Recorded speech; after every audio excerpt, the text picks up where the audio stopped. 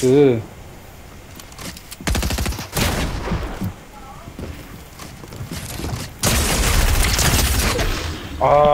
you almost got that nigga drunk. You 62.